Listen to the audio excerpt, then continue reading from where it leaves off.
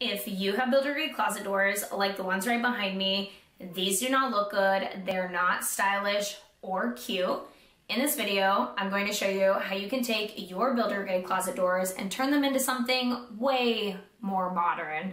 I'm going to add style to these closet doors and it's going to give this closet and bedroom a new and refreshing look.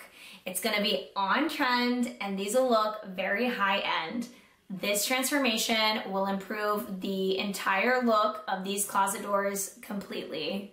Hi guys, welcome back to my channel. My name is Brittany. Today I'm teaching you how to wainscot your builder grade closet doors.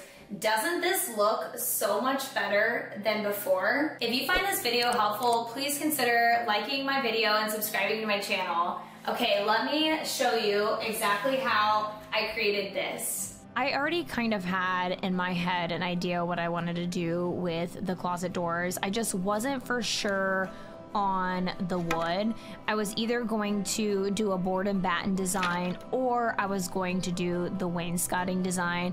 I decided to go with the wainscoting design and the first thing I had to do was go to my local box store. I happened to go to Menards and I just started looking around for trim, comparing prices, what I thought would look the best. I ended up going with a seven foot stop in pine.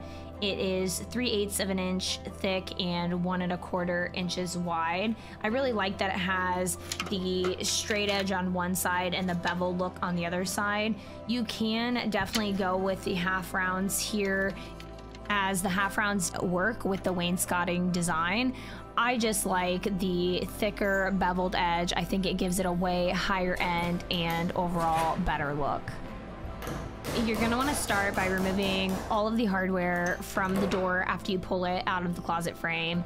Here, these builder grade closet doors have this tiny little gold circular piece where you stick your finger inside it doesn't really have much utility. It doesn't look good, so I'm pulling it out here with a flat head screwdriver and a hammer. And then I'm taking some spackle and I'm filling the hole. Um, I'm putting a generous amount of spackle in the hole, and when this dries, I will be sanding it down. One thing about this project is there's quite a bit of sanding while you can paint doors, trim, and just about anything without sanding, I highly recommend sanding before you do. This is going to increase the longevity of whatever it is you're painting, so those high traffic areas are going to be less prone to chipping. Before you start painting, make sure you give everything a good wipe down. We want to make sure there's no dust and grime in between the paint and the wood. For this project, I'm using Dutch Boys cabinet door in trim paint in bright white. I've worked with this paint on numerous occasions and it really does have a good application, especially when it comes to exactly what it says, cabinet door in trim paint. Um, as long as you sand, you're gonna have really great adhesion. I'm just using a small roller and I'm being conscious, making sure that I'm painting very thin so I'm not gonna have paint lines. You don't necessarily have to go in the same direction or with the wood grain here as long as you're being conscious of what I just said.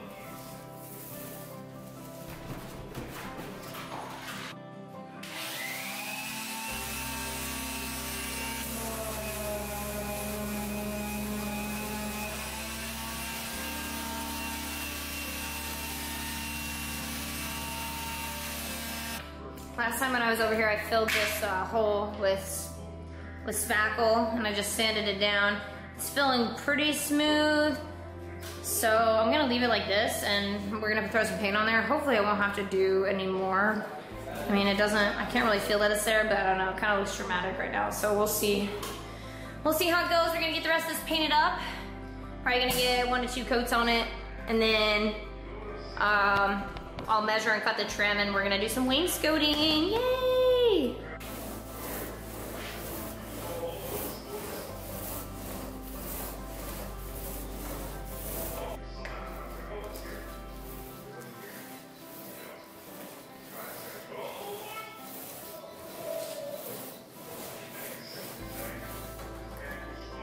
In total for this project, I ended up doing three coats of paint.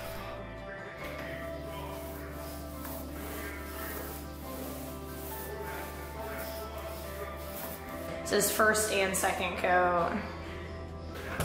I think that this is gonna cover up pretty nicely with a couple more coats of paint. When it came time to lay the trim on the door, I went five inches in from the left and then five inches in from the right and then six inches from the bottom and six inches from the top. And I used a carpenter square to mark all the way around. So by the time I was done, I had a drawn out rectangle on my door. Before taking my trim to the saw, I always mark the 45 degree angle on the trim with a pen or pencil so I'm not confused when I take it out to the saw which 45 degree angle I should be cutting.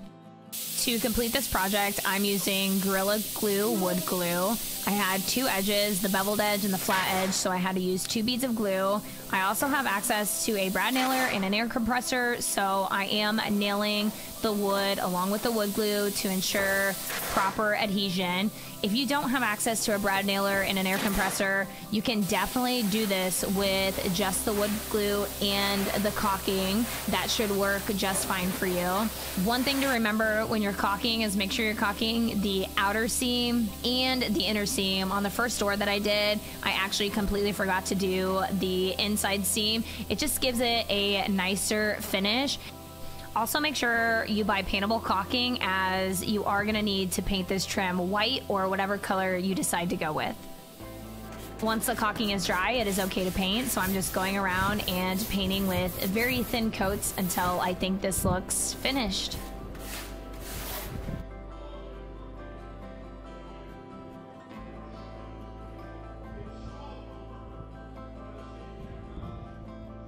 Here is your refresher on what builder grade closets look before projects like this. Ew, like these do not even look appealing. They're so boring and ugly. I am so happy with how this project turned out. It was my first time wainscoting and I really think I nailed it. And honestly, it was pretty easy. If you guys found this video helpful, like, comment, subscribe, let me know. And don't come for me that the second door isn't up yet. I'm still working on it. You can catch it on my Instagram. I'll see you guys in the next one. Bye-bye. Yes.